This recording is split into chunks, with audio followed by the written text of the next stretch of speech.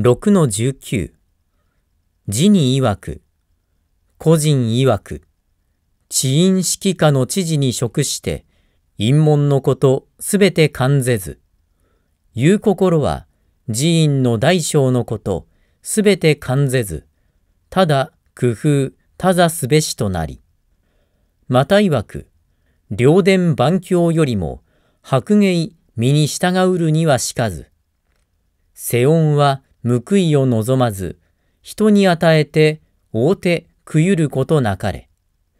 口を守ること、花のごとくすれば、万か及ばず、と言えり。行い仇人は、おのずから重んぜらる。座へ高き人は、人、おのずから起伏するなり。深く耕して、浅くううる。なお天才あり。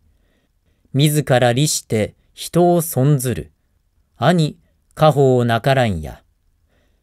学童の人、和刀を見るとき、目を近づけ、力を尽くして、よくよくこれを見るべし。